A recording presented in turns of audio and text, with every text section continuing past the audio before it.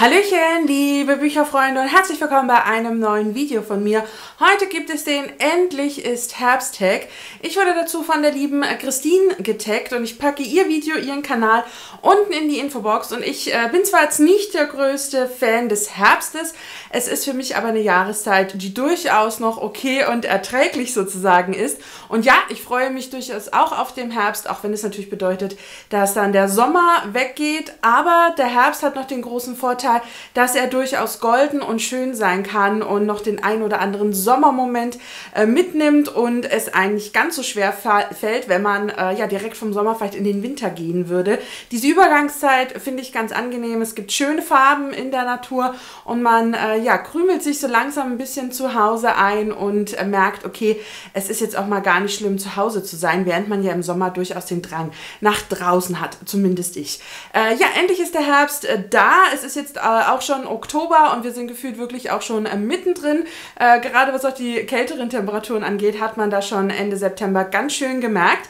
Aber es soll gar nicht äh, so direkt um den Herbst äh, gehen oder was ich äh, davon denke oder darüber halte oder wie auch immer, sondern es gibt ein paar ganz tolle Fragen, die sich ausgedacht wurden und ja, die möchte ich heute natürlich buchtechnisch beantworten. Ihr findet die Fragen unten in der Infobox. Ich habe euch auch ein bisschen versteckt sozusagen die Bücher zu den einzelnen Fragen unten verlinkt. Also wenn ihr jetzt hier im Buch seht, dann wisst ihr, welche Frage das ist. Und dann könnt ihr unten auch auf das Buch klicken und es euch gegebenenfalls auch näher ansehen. Und äh, ja, ich denke, wir starten jetzt einfach direkt mit der ersten Frage.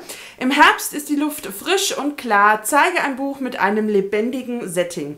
Und das ist zwar hier die erste Frage, war aber tatsächlich die letzte Antwort, die mir irgendwie dann eingefallen ist, denn ich fand ein lebendiges Setting wirklich sehr schwierig, weil je nachdem, was man darunter versteht, gibt es entweder unendlich viele Geschichten, die äh, ja irgendwie lebendig sind, oder aber gefühlt irgendwie keine so richtig, die äh, wirklich äh, ja vor Leben strotzt. Und äh, ja, ich habe mich jetzt für eine Reihe entschieden und habe jetzt, glaube ich, den fünften Band davon in der Hand.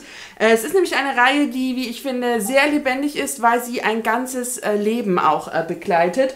Und äh, ja, es ist die Clifton-Saga von Jeffrey Archer.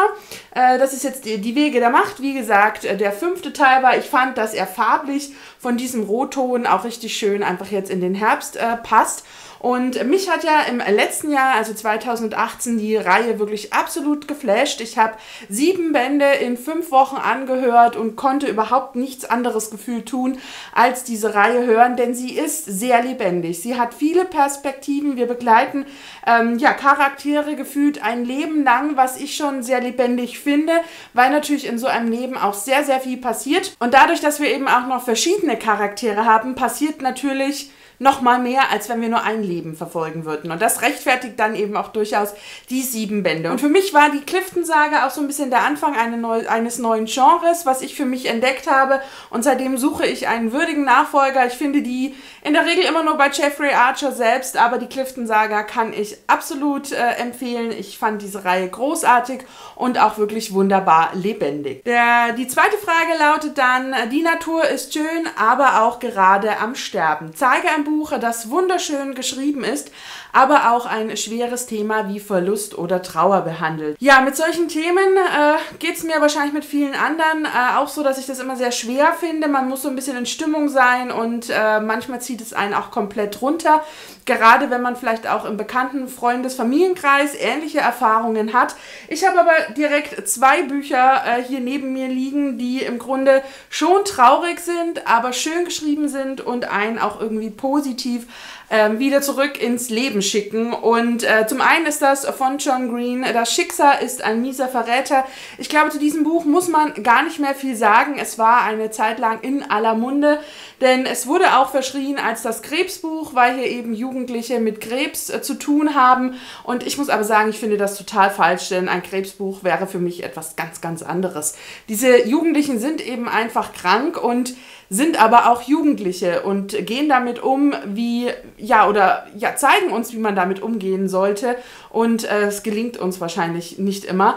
Aber ich gehe nach dem Ende des Buches mit einem, ja, Weinen heraus, aber merke dann recht schnell, wenn die Träne getrocknet ist, wie positiv mich dieses Buch immer wieder stimmt. Und ich finde, das liegt einfach am tollen Schreibstil von John Green, der das für mich wirklich perfekt macht und eine wunderbare Geschichte erzählt und äh, die wirklich sehr tiefgreifend ist, Charaktere auch geschaffen hat, die Gedanken hat, die man wirklich nachvollziehen kann, beziehungsweise man vielleicht diese auch schon selbst getragen hat. Und ja, ich liebe dieses Buch. Ich habe schon einige Male gelesen, das letzte Mal sogar ja, ist noch gar nicht so lange her in der englischen Version. Man sieht hier auch, das Buch ist schon äh, recht, äh, sieht recht benutzt aus. So sollte ein Buch auch aussehen. Und für mich wirklich auch ein absolutes äh, Lebenslieblingsbuch. Das zweite Buch ist äh, PS Ich liebe dich von Cecilia Ahern.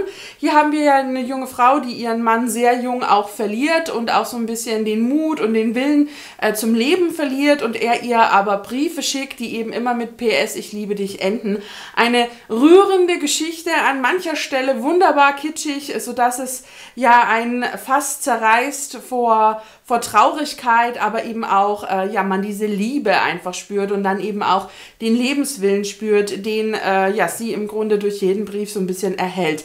Im Oktober erscheint jetzt äh, im Grunde eine Fortsetzung zu PS Ich liebe dich von Cecilia Ahern und auf die bin ich sehr gespannt, denn, äh, ja, unsere Holly, die wir in, in diesem Buch schon kennenlernen, ähm, ja, die möchte im Grunde Positives äh, weitergeben in, im Leben und da bin ich sehr neugierig. Für mich auch ein Buch, was nicht nur mein Lieblingsbuch äh, von Cecilia Ahern ist, sondern eben auch in diese Kategorie passt, dass es sehr traurig ist, dass man mit einem schweren Verlust zu kämpfen hat, aber dass man dadurch eben doch einfach auch an Stärke gewinnen kann und dass man diesen Weg einfach gehen muss ähm, auch wenn man denkt, man kann ihn nicht gehen und dass eben am Ende doch irgendwie der Sonnenschein auf einen wartet. Und ähm, das ist gar nicht kitschig oder unrealistisch, das Leben geht eben irgendwie weiter. Und ich finde, dass Cecilia Ahern das in einer ganz wunderbaren Art äh, geschafft hat zu erzählen. War ja, glaube ich, sogar ihr Debütroman, also finde ich wirklich äh, großes Bücherkino. Die Verfilmung ist so semi okay, ähm, kann man sich anschauen, finde ich, aber das Buch ist um Länge natürlich besser. Ähm, ja, liebe ich wirklich. Und äh, ja, auch bei der Schicksal heißt, einem dieser Verräter gibt es natürlich eine Verfilmung, die ich großartig finde, die für mich auch wirklich so diesen Geist des Buches einfängt. Also wer vielleicht nicht lesen möchte im Herbst, sondern Filme schauen, der ist bei diesen zwei Büchern auf jeden Fall auch äh, richtig. Die dritte Frage ist, im Herbst fängt die Schule wieder an, zeige ein Sachbuch, das dir etwas Neues beigebracht hat. Und ich persönlich finde das sehr schwierig, äh, weil ich finde, dass Sachbücher schon etwas sehr Persönliches sind. Äh, ich zeige auch sehr selten Sachbücher hier auf meinem Kanal. Ich erzähle die oftmals äh, zwar irgendwie zum Lesemonat dazu oder manchmal auch nicht, je nachdem, wie lange sie mich begleiten. Ich äh, finde, dass man dadurch doch äh, sehr persönlich ähm, ja etwas von sich preisgibt, was mir an mancher Stelle einfach zu privat wäre. Aber ein Buch, was mich in diesem Jahr äh, sehr begeistert hat, ist Homo Deus von Yuval Noah. Ich habe das äh, zu Weihnachten äh, geschenkt bekommen. Es ist mittlerweile auch ausgeliehen. Deswegen kann ich euch jetzt auch nur äh, ja, das Bild im Grunde anzeigen, weil das Buch jetzt gefühlt im Freundeskreis umhergeht. Es ist ein sehr interessantes Buch, das uns die düstere Version der Zukunft zeigt und uns eben auch einfach mitnimmt auf die Reise des Menschen und was da irgendwie noch kommen könnte. Es gibt wirklich sehr stichhaltige Erklärungen, sowohl aus der Vergangenheit als auch aus der Gegenwart, die dann eben irgendwie zu der Zukunftsvariante führt, die Yuval Noah ja für sich im Grunde irgendwie festgehalten hat. Der Autor hat ja glaube mittlerweile auch noch zwei, drei andere Bücher geschrieben. Eins davon sind 21 Gedanken zum 21. Jahrhundert irgendwie so, ähm, was ich auch mega spannend finde. Aber ich finde dieses Sachbuch hat eben etwas sehr Eindringliches, etwas sehr Echtes und äh, man kann das wirklich verstehen. Und es ist zwar schon irgendwie wissenschaftlich hinterlegt und es sind auch so die ein oder anderen Fachbegrifflichkeiten dabei, aber ich finde, wenn man sich damit beschäftigt, sich darauf einlässt, dann kann man wirklich was mitnehmen. Das hat dieses Sachbuch für mich in diesem Jahr auch zu etwas Besonderem gemacht und ja, mir so das ein oder andere zum Nachdenken auch einfach mitgegeben, was ja jetzt auch hier im Grunde in der Frage impliziert war. Die vierte Frage. Um sich warm zu halten, ist es gut, einige Zeit mit den Leuten zu verbringen, die wir lieben. Nenne eine fiktive Familie, Freunde, Gruppe, einen fiktiven Haushalt, von der du gerne ein Teil wärst. Ähm, hier ist mir natürlich an erster Stelle die Weasley-Familie eingefallen aus Harry Potter. Ähm, ich wäre unglaublich gerne ein Weasley, wobei ich lieber die angeheiratete Weasley wäre, denn ich bin ja ein absoluter Fan von Fred und George. Ähm, ich könnte mir dann jetzt mal aussuchen, welchen der beiden, aber da gibt also ja, man, ja, ich möchte jetzt auch nicht spoilern oder so, aber ähm, ja, von daher wäre ich tatsächlich gerne ein Weasley. Da ich aber Harry Potter noch in einer anderen Frage habe, habe ich mich äh, ja für einen Gamgee entschieden und zwar für Samwise Gamgee äh, aus äh, Der Herr der Ringe. Und äh, ja, ich wäre unglaublich gerne ein Hobbit, würde also gerne in diese Gruppierung äh, gehören. Jetzt könnte man natürlich sagen, okay, bei den Gefährten gab es ja nicht eine Hobbit-Frau, die mitlief. Äh, man könnte sagen, bei den Gefährten war die Frauenquote sowieso relativ schlecht bis gar nicht vorhanden. Aber ich wäre, glaube ich, gerne die Frau gewesen, die dann auf ihren Samwise äh, gewartet hätte und ähm, ja, hätte das auf jeden Fall sehr schön gefunden, wenn ich da so in die Hobbit-Richtung komme. Und äh, so sieht ja auch irgendwann mal mein, mein Himmel aus, äh, wo ich sage, für mich ist das das Auenland und äh, da wird dann barfuß umhergelaufen und jedes Fest gefeiert und ähm, ja, ich bin ein Samwise-Fan und für mich ist das der, der, der, mein Lieblingscharakter neben Aragorn aus dem Herrn der Ringe und ich finde den großartig, sowohl im Film wie natürlich auch in den Büchern. Deswegen ist das auch der einzige Funko aus der Herr der Ringe-Welt, der bei mir eingezogen ist und ähm, weil ich ihn einfach Ach, Liebe. Ja, aber genug der Schwärmereien. Machen wir mal weiter. Ähm, die fünfte Frage ist, die bunten Blätter stapeln sich auf dem Boden. Zeige uns einen Haufen von herbstfarbenen Covern. Es gibt unglaublich viele Cover, die in diesen klassischen Rot, Grün, Gelb, Blau-Themen irgendwie gehalten ist. Gut, Blau ist jetzt nicht direkt eine Herbstfarbe, aber dieses Rot, Orange und so ein bisschen das Grün, was ins Gelb geht, das hat man gerade bei Jugendbuch-Trilogien unglaublich häufig. Wir haben das bei Panem, wir haben das in der Zeitenzauber Trilogie. Äh, wenn ich rüber gucke bei äh, das Lied von Eis und Feuer in englischer Variante haben wir auch ein Rot, ein Grün, das ein bisschen dann auch wieder ins Gelb geht. Also man hat das wirklich sehr, sehr häufig und besonders schön äh, finde ich einfach die Cover von Red Rising von Pierce Brown. Und hier haben alle Teile, bis auf der dritte, glaube ich, wirklich auch dieses herbstliche Thema. Wir haben hier äh, wirklich das wunderschöne Rot. Wir haben im zweiten Teil ist es, glaube ich, so ein bisschen orange. Der dritte Teil ist dann, glaube ich, blau. Und der vierte Teil ist ja dann mit weißem Hintergrund, fängt aber dieses Rot-Orange-Thema wieder auf. Also alle vier Teile der Red Rising, nein, also drei von vier Teilen der Red Rising-Reihe haben für mich diesen wunderschönen Herbstmoment. Äh, hier natürlich ein bisschen düsterer, auch einfach durch diesen schwarzen Hintergrund. Ich finde das aber wirklich super, super schön. Ich habe jetzt gar nicht geguckt. Nein, ich glaube, die anderen Cover sieht man hier noch nicht drin. Nein, aber ich ähm, ja, finde die wirklich richtig schön, richtig herbstlich und auch nicht so überladen. Ich bin ja auch nicht der größte Fan von, von äh, ja, Gesichtern irgendwie auf Covern. Ähm, von daher finde ich das wirklich richtig, richtig schön und das fängt für mich perfekt den Herbst an. Wie mir gerade auffällt, ähm, ich selbst sehe ja auch ein bisschen herbstlich aus heute mit dem Rot. War mir gar nicht so bewusst, als ich äh, das Video angefangen habe. Aber gut.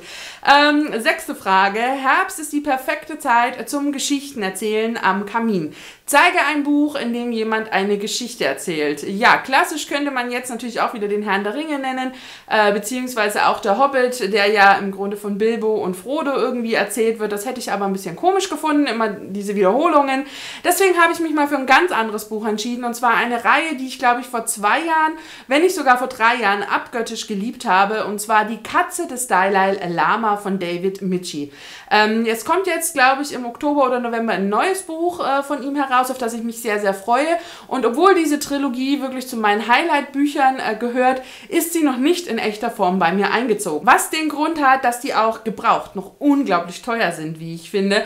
Und ähm, ja, irgendwie ich noch nicht so... Äh, die Zeit und die Muse gefunden habe, äh, mich da ein bisschen äh, näher auf die Suche zu begeben. Äh, aber das sollte jetzt unbedingt mal passieren, denn diese Trilogie ist wirklich eine wunder, wunderschöne Reihe. Denn äh, ja, der Geschichtenerzähler ist eine Katze, nämlich die Katze seiner Heiligkeit des Dalai Lama. Er findet die Katze auf der Straße, nimmt sie mit in seinen Palast und sie stromert eben durch die verschiedenen Paläste des Dalai Lama, je nachdem, ob wir im Sommer oder im Winter unterwegs sind, äh, wechselt ja auch der Dalai Lama seine, seine Unterkunft, seinen Palast. Und äh, ja, sie erzählt uns ihre Geschichte, natürlich immer mit diesem Blickwinkel auf den Buddhismus. Äh, sie äh, packt uns auch so ein bisschen diese Wahrheiten sozusagen mit hinein. Also es ist nicht alles unglaublich fiktiv, aber es ist natürlich die Sicht einer Katze. Und sie erzählt uns ihren Tagesablauf, so ein bisschen ihr Leben, wie es ist, an diesem Hof, auf diesem Palast, an diesem Palast zu leben. Ähm, auch die Fragestellung, die man ja auch beim Buddhismus hat, ob man überhaupt äh, ein, ein Haustier halten sollte, beziehungsweise was passiert, wenn man ein Haustier hat, das im Grunde auch Tiere äh, frisst. alles eine Frage, die sich da irgendwie gestellt wird. Und es ist eben so eine Geschichte, die uns den Buddhismus im Alltag näher bringt und uns, äh, ja, das wirklich so durch diese einfache Sprache der Katze, aber zu etwas ganz Besonderem macht. Und ich fand diese Reihe wirklich wunder, wunder, wunderschön. Sie hat mich sehr ergriffen, sehr mitgenommen, ähm, hat auch wirklich so den ein oder anderen, äh, ja, Gedanken nochmal in Worte gefasst, hat mir gut gefallen und finde ich, ist perfekt äh, für den Herbst, Winter, um da vielleicht einfach mal neue Impulse aufzunehmen. Und äh, ja, die Katze seiner Heiligkeit macht das wirklich mit unglaublich viel Charme und richtig, richtig schön. Siebte Frage. Die Nächte werden dunkler, zeige eine dunkle, gruselige Geschichte. Und ich habe mir damit sehr, sehr schwer getan, denn ja, es gibt natürlich dunkle Geschichten, gruselig ist ja für mich sehr oft, wenn so ein bisschen Vampire äh, auftauchen, aber es kommt sehr selten vor, dass ich mich in Büchern grusle, beziehungsweise äh, ja, passiert das doch eher mal in Filmen oder Serien, aber ja, das ist halt immer so ein schmaler, Gra äh, schmaler Grad, äh, wann fängt Grusel an und äh, ja, mancher, also na, das ist ja sehr unterschiedlich und auch, ähm, ja, jeder empfindet das einfach anders. Ich habe von Dan Simmons äh, jetzt einfach mal dabei Kinder der Nacht. Einer von drei Highlight-Büchern von Dan Simmons, die auch weiterhin im Regal bei mir sozusagen liegen geblieben sind. Äh, das Buch ist unglaublich spannend erzählt. Es ist gruselig in meinen Augen, es ist atmosphärisch, es ist dunkel, es ist grausam, äh, insbesondere was eben mit diesen Kindern passiert. Ich finde, wenn Kinder irgendwie wo was äh, zu tun haben, dann ist das immer ja für mich sehr schwierig, ähm, ja da irgendwie nicht ähm, ja berührt zu sein. Ich fand Kinder danach gerade mit dem Thema auch so ein bisschen des Vampires äh, sehr ja, anders erzählt. Es zeigt uns mal eine ganz andere Art von Vampir, von Geschichte darüber, wie ich finde. Und mir hat die Geschichte unglaublich gut gefallen. Ich fand die wirklich äh, mit eins der Meisterbücher äh, sozusagen von Dan Simmons. Hat für mich auch äh, Terror und der Berg getoppt. Das ist wirklich so mein Favorit des Autors und äh, fand ich einfach Hammer. Kann ich wirklich nur empfehlen. Hat großen, großen Spaß gemacht. Und als äh, Hörspiel möchte ich Monster 1983 empfehlen. Äh, wer also gerne Hörbücher hört, der wird hier auf jeden Fall auch seinen Spaß haben. Denn die Geschichte spielt zum einen in den 80ern und ein Hörspiel ist ja nicht wie ein Hörbuch, wo eine Geschichte vorgelesen wird, sondern ein Hörspiel lebt ja davon, dass man wirklich die Dialoge nur im Grunde hört, beziehungsweise alles, was eben jemand sagt oder auch mal gerne mit sich selbst spricht. Und man hat auch Geräusche drumherum. Und für mich war Monster 1983, wo ich glaube, so seit Jahren mein erstes Hörspiel, was mich unglaublich gefesselt hat, sehr gepackt hat. Es ist sehr gruselig, alleine eben ja, weil man dieses Atmosphärische eben auch hört und nicht nur liest. Und ich fand das wirklich großartig gemacht. Es sind sehr viele tolle deutsche äh, ja, Hörbuchsprecher dabei, Synchronsprecher dabei. Und wenn man sich da mit den Synchronsprechern beschäftigt, beziehungsweise bin ich da ja sehr fanatisch und ich muss immer, wenn ich eine Stimme kenne, erstmal gucken, oh, wer ist das? Ach ja, das ist die Stimme von so und so. Und dann war für mich wirklich wie wenn ein Film im Kopf abläuft, wo ich eben die Schauspieler passend ihrer deutschen Stimme vor Augen hatte. Und ich kann das wirklich nur empfehlen. Also hier hat Iva Leon Menger wirklich eine ganz, ganz tolle Geschichte erfunden. Es ist eine Trilogie, äh, die wirklich ein purer Hörgenuss ist. Kann ich jedem nur empfehlen, wer da eben ein bisschen was Gruseliges, Schauriges irgendwie mal hören möchte. Die achte Frage ist, die Tage werden kälter, zeige ein kurzes, herzerwärmendes Buch, das jemand an kalten und regnerischen Tagen aufwärmen könnte. Und das war ein Highlight aus dem letzten Jahr für mich. Und zwar ist das Mit Gobi durch die Wüste von Dion Leonard, ein Buch, was ich unfassbar geliebt habe und auch immer noch liebe. Ähm, ja, wir haben hier Gobi schon im Grunde auf dem Bild. Das ist eine Hündin, das ist eine Geschichte auf wahren Begebenheiten. Dion Leonard ist ein Extremläufer, der eben durch die Wüste Gobi gelaufen ist und da einen Hund äh, getroffen hat. Und äh, ja, dieser Hund irgendwie so seine Wegbegleiterin wird. Und er irgendwie merkt, ja, eigentlich suche ich keinen Hund. Und eigentlich äh, bin ich halt Läufer und beschäftige mich nur damit. Aber ja, diese kleine Gobi hier, ähm, ja, schafft es irgendwie in das Herz von äh, Dion Leonard und dann erzählt er uns eben nicht nur seine Läufergeschichte, seine äh, ja, Extremlaufgeschichten, sondern eben auch, äh, ja, was es mit der kleinen Gobi auf sich hat und ähm, ja, wie schwierig es tatsächlich war, äh, ja, sie im Grunde aus ja, der Ferne irgendwie nach Europa zu bringen. Und äh, ja, die Geschichte gab es wohl auch mal äh, in einer Art Blog. Also der Autor äh, Dion Leonard hat das eben auch früher mit gebloggt und irgendwie auch war auf Facebook sehr aktiv. Und äh, dann ist eben dieses Buch entstanden, was ich im letzten Jahr absolut geliebt habe, was mich sehr berührt hat, was mich wirklich mitgenommen hat und äh, ja, was mich nicht nur erwärmt hat durch die Wüste Gobi natürlich, sondern auch einfach wie äh, so ein Extremläufer, was, welche Gedanken der hat, was ihn da antreibt, was ihn motiviert und dann eben auch, ja, wie es eben so ein Hund schafft, ja, irgendwie das Herz eines Menschen zu berühren. Und äh, ich glaube, jeder, der tierlieb irgendwie ist und äh, ein Tier in seinem Herzen trägt, der kann das irgendwie nachvollziehen. Und ich finde das eben immer durchaus sehr herzerwärmend. Und äh, ja, jetzt zur vorletzten Frage, die auch noch ein Buch zeigt. Und zwar ist das, der Herbst kehrt jedes Jahr zurück. Zeige einen alten Liebling, zu dem du bald äh, zurückkehren möchtest. Und ich ähm, bin jetzt gar nicht der klassische Jahreszeitenleser. Ich meine, natürlich lese ich Weihnachtsbücher auch nur um die Weihnachtszeit, aber es gibt kein so echtes Buch, was ich jeden Herbst lese. Aber es gibt dieses Jahr einen Anlass, um zumindest diesen Teil zu rereaden. Und zwar ist das Harry Potter. Ja, ich habe es vorhin schon gesagt, in der späteren Frage wird Harry Potter äh, auch eine Rolle spielen, denn es erscheint jetzt im Oktober der vierte Band der illustrierten Ausgabe und ich habe unglaubliche Lust, äh, zumindest diesen Teil äh, mir mal wieder dann äh, in der illustrierten Ausgabe durchzulesen. Ich habe ja die ganze Reihe im letzten Jahr gerereadet. Ich finde, das kann man durchaus alle ja, zwei, drei Jahre mal machen. Es ist für mich eine Reihe, die immer wieder geht, die ich dann auch immer wieder damit verbinde, auch mir die Filme anzusehen, die ich zumindest bis zu einem gewissen Grad wirklich sehr gut finde, die mir äh, eine ganz tolle Stimmung äh, sozusagen machen, die mich auch so in den Herbst-Winter bringen.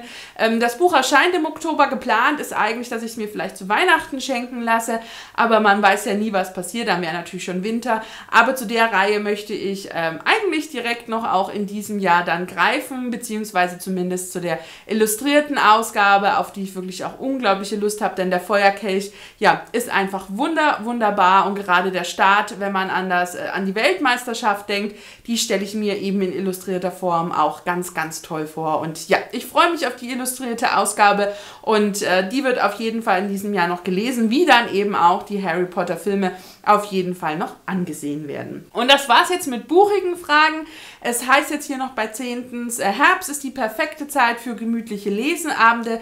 Zeige dein liebstes Accessoire für gemütliche Lesestunden.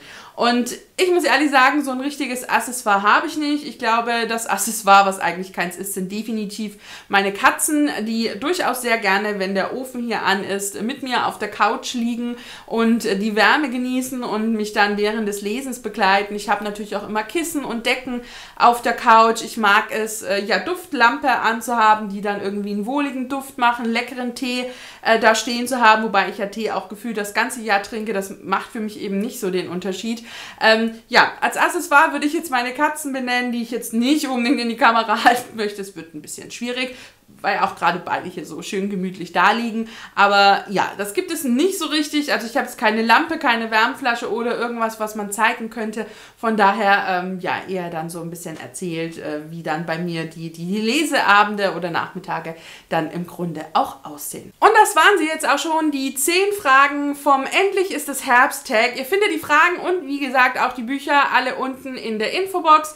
Getaggt fühlen darf sich jeder, der Lust hat, diesen Tag zu machen, gerne als Zuschauer in den Kommentaren, aber natürlich auch jeder Booktuber, YouTuber, der Lust hat und sich da äh, getaggt fühlt, äh, der darf die, diese Fragen gerne übernehmen und machen. Ich würde mich mega freuen, wenn ihr mir das dann vielleicht auch in den Kommentaren schreibt und äh, ich da dann auch einfach mal bei eurem Video vorbeischauen kann. Und ähm, ja, das war es jetzt von mir.